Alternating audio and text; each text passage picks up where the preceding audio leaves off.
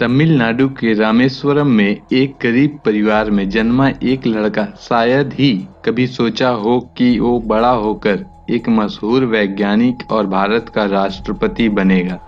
अब्दुल पाकिर जैनुलाबुद्दीन अब्दुल कलाम का जन्म 15 अक्टूबर 1931 को रामेश्वरम के तीर्थ स्थल पम्बन द्वीप पर एक तमिल मुस्लिम परिवार में हुआ था। उनके पिता जैनुलाबुद्दीन एक नाव के मालिक और एक स्थानीय मस्जिद के इमाम थे। उनके पिता के पास एक फेरी थी, जो हिंदू तीर्थयात्रियों को रामेश्वरम और धनुषकोडी के बीच ले जाती थी। अपने परिवार के इनकम को सपोर्ट करने के लिए क्लाम बचपन में न्यूज़पेपर भी बेचा करते थे। अपने स्कूल के वर्षों में कलाम के पास औसत ग्रेड थे, लेकिन उन्हें एक उज्जवल और मेहनती छात्र के रूप में वर्णित किया गया था, जिन्हें सीखने की तीव्र इच्छा थी।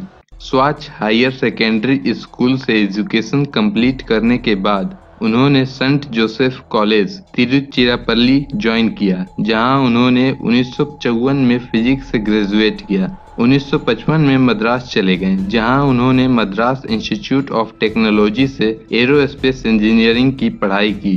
वह फाइटर पायलट बनने के अपने सपने को हासिल करने से चूक गए, क्योंकि उन्होंने क्वालिफायर में नवा स्थान हासिल किया और भारतीय वायु सेना में केवल आठ स्थान ही उपलब्ध थे।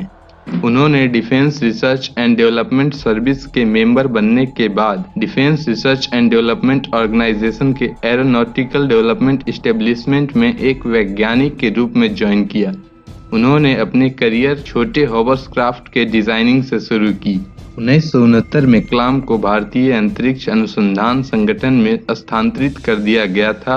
जहाँ वे भारत के पहले satellite launch vehicle S L three के परियोजना निर्देशक बने, जिन्होंने जुलाई 1980 में रोहिणी उपग्रह को निकट पृथ्वी के कक्षा में सफलतापूर्वक तैनात किया था।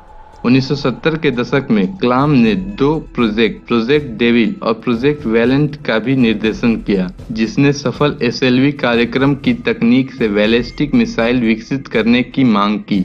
केंद्रीय मंत्रिमंडल की अस्वीकृति के बावजूद प्रधानमंत्री इंदिरा गांधी ने कलाम के नेतृत्व में अपनी विवेकाधीन शक्तियों के माध्यम से इन एरोस्पेस परियोजना के लिए गुप्त धन आवंटित किया। कलाम ने केंद्रीय मंत्रिमंडल को इन वर्गीकृत एरोस्पेस परियोजनाओं की वास्तविक प्रकृति को छिपाने के लिए अभिन्न भूमिका निभाई। Integrated guided missile development programme नामक मिशन के लिए क्लाम को चीफ एग्जीक्यूटिव अपॉइंट किया गया। इस मिशन के तहत क्लाम ने अग्नि, एक इंटरमीडिएट रेंज बैलिस्टिक मिसाइल और पृथ्वी सतह से सतह पर मार करने वाली मिसाइल सहित कई मिसाइलों को विकसित करने में एक प्रमुख भूमिका निभाई। क्लाम ने जुलाई उन्नीस से दिसंबर उन्नीस सौ निन्यानवे तक प्रधानमंत्री और रक्षा अनुसंधान और विकास संगठन के मुख्य वैज्ञानिक सलाहकार के रूप में कार्य किया।